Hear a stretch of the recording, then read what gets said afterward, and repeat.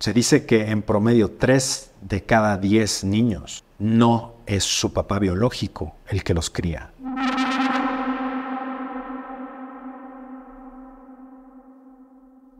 Las mujeres obviamente buscan buenos genes, pero también con gran importancia buscan seguridad. Y saben que esto no necesariamente tiene que venir del mismo hombre. Una cosa es su deseo sexual y otra muy diferente es que ella sepa lo que le conviene a ella y a su descendencia. Aquí es donde somos opuestos. Por ejemplo, tú habrás escuchado que las mujeres son muy frías para elegir. Y es cierto. Mucho es por estas razones. Los hombres, como te decía, somos más emocionales al momento de elegir pareja. ¿Quién lo diría, no? Una cosa, como te digo, es su deseo sexual y la otra muy diferente es que ella sepa lo que le conviene a ella y a su descendencia. Son cosas diferentes. Naturalmente buscan al mejor, pero con las influencias modernas es muy raro que se vaya con el mejor. Ese es el problema. Las influencias confunden a la mujer de hoy y vamos a hablar de esto en la siguiente sección.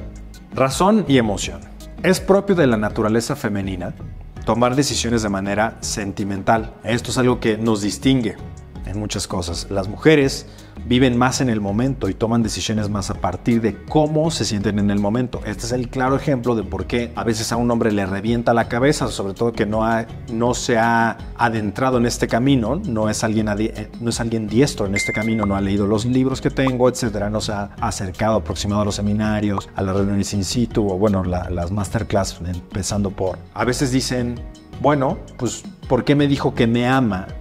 Y hace esto que no es evidentemente una muestra de amor. Bueno, pues porque te dijo que te ama en el momento en el que te lo dijo, eso sentía. Y por eso es que una mujer te puede jurar amor eterno y un año después o una semana después o un mes después puede realmente no, no amarte o hacer cosas que no reflejan amor. ¿Por qué una mujer haría esto? Bueno, pues porque las mujeres viven en el momento. Por eso es tan importante que busques una mujer que sepa esto y que sepa qué hacer con esta información, que son las mujeres que salen de sí mismas y maduran. Hay muchas mujeres y muchos hombres también, pero aquí estamos hablando particularmente de mujeres. Muchas mujeres no maduran, no tienen esta fase de niñas a mujeres. Es decir, muchas, incluidos muchos de ustedes, pueden tener esta situación de que sus mamás son como niñas. Es decir, no maduraron en muchas cosas. Entonces, imagínate también estas mujeres que no se les empodera para que ellas maduren o vean más allá de sí mismas. El condicionamiento social está adecuado y formado de tal forma que no se le no es necesario para una mujer el crecer en esta parte. Esto es triste,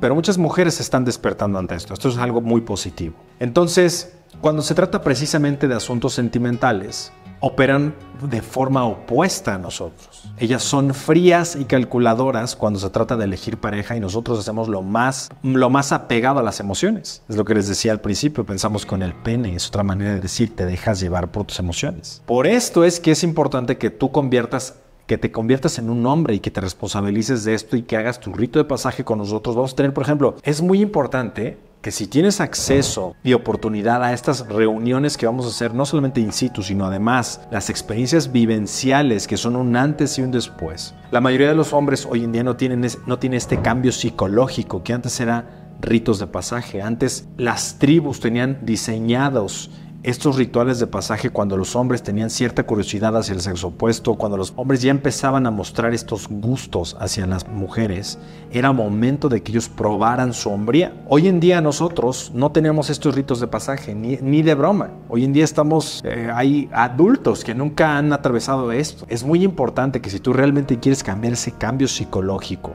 que realmente quieres vivir ese cambio psicológico, te integres a estas reuniones, a estos encuentros vivenciales, estas experiencias vivenciales. Es tan importante que te conviertas en un hombre por esto, porque de lo contrario vas a vivir desde tus carencias, desde las heridas, como te digo, en las escalas más bajas de conciencia. Y esto es una fórmula para el desastre para ti, para tu descendencia y para todas las personas que están después de ti, para todo tu legado. Regresando al tema, ellas no se tientan el corazón, ¿Cuántos de ustedes me han dicho es que son despiadadas para estas cosas? Hay varias razones para esto. La naturaleza sabe que el tiempo de una mujer fértil es corto. ¿Esto qué quiere decir? No tienen tiempo que perder. Por eso, para una mujer es tan fácil recuperarse de una ruptura. Esto no quiere decir que todas se recuperen de una ruptura, pero esto puede explicar cómo es que hay mujeres que de un día al otro o a la semana ya están saliendo con otras personas, por más doloroso que esto sea. No estoy justificando, ¿eh? Como te digo, una mujer más evolucionada, una mujer más madura, no hace este tipo de cosas porque naturalmente la,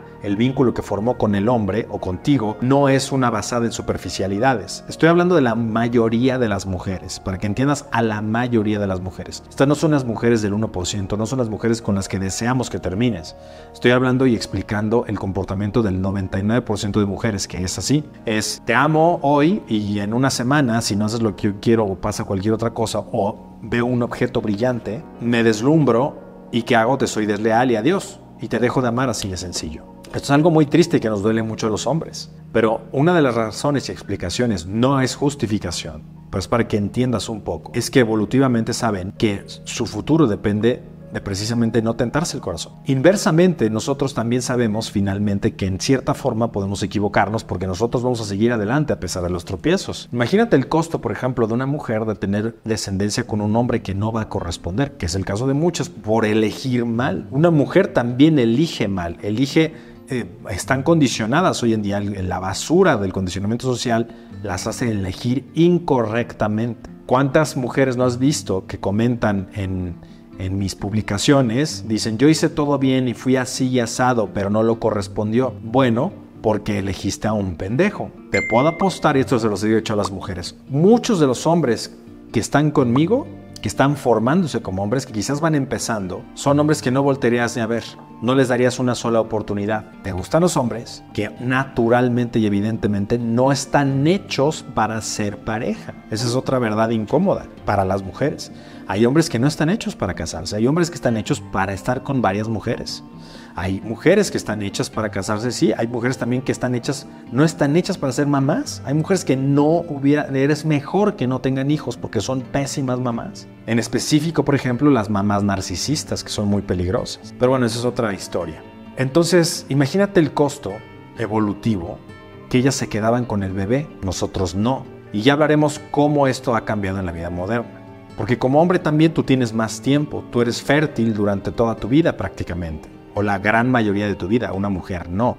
Una mujer tiene 110, 120 en promedio óvulos realmente que funcionarían. Entonces imagina, eso, tiene, eso la vuelve más enfocada en la calidad que en la cantidad. Un hombre tiene como imperativo biológico, solamente biológico de supervivencia y evolutivo, esparcir su semilla con tantas mujeres es posible. En otras palabras, tener tanta descendencia como fuera posible.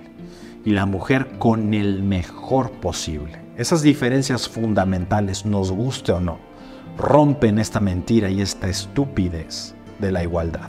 Ellas siguen las, las directrices evolutivas, y por eso muchas veces anteponen su seguridad al amor o la conexión, porque primero viene la supervivencia. Por eso ves que hay incontables casos de mujeres que están con hombres que quizás no, no aman. Tú no sabes cuántas mujeres terminan con hombres que no aman.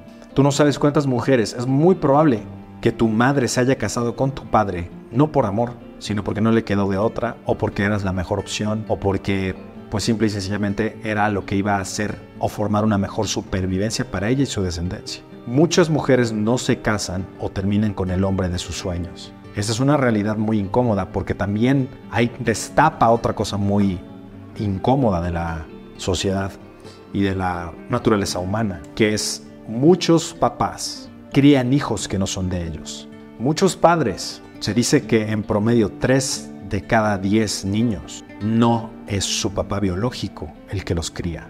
Esto aumenta, obviamente, cuando esto es de los que no conocen, más los que conocen, que no hay nada de malo en ello, bueno, pues yo diría que es aún más el número. Pero imagina la implicación que esto tiene, las implicaciones que esto tiene. Una, una de las cosas que te vuelve diestro en este camino, una de las cosas que toma toda una vida aprender, o varios años, décadas, es aprender a ver los patrones y las implicaciones. Si tú sabes ver implicaciones, eres alguien bueno tomando decisiones. Porque alguien que sabe ver las implicaciones es alguien que sabe tomar decisiones lo suficientemente buenas en una línea determinada del tiempo como para poder anticiparse a, un futuro. ¿Qué quiere decir esto? Una de las cosas más importantes que tiene un líder es saber tomar decisiones a largo plazo. ¿Por qué sabe tomar decisiones a largo plazo? Porque sabe ver implicaciones, sabe reconocer patrones y sabe digerir la información de manera puntual y matizada. ¿Y por qué esto es importante? Para que no lo veas blanco y negro, para que aprendas a desconectarte. La mayoría de las personas es demasiado emocional hoy en la sociedad de cristal. Y la mayoría de las personas no puede ver ciertas cosas porque son demasiado escandalosas o muy dolorosas. Entonces no se pueden desconectar, no pueden dar un paso hacia atrás, no pueden ver el árbol en el bosque si nos enfocan en el árbol. Entonces hay muchas personas que ni siquiera terminan de ver videos, que son clips de unos cuantos segundos, porque lo primero que escucharon les ofendió, ya no escuchan más. Este es un síntoma de bajo intelecto. Entre más emocional es una persona es menos inteligente.